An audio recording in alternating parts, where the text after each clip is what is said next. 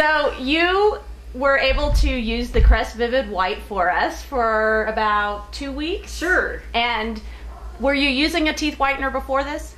I have used them off and on before, but I have never really been able to commit to a whitening plan before. Okay. And how did you feel about the Crest Vivid White? Well, I liked it. I liked the way it made my mouth feel clean because it had like some sort of grit in it that kind of cleaned off things on my teeth.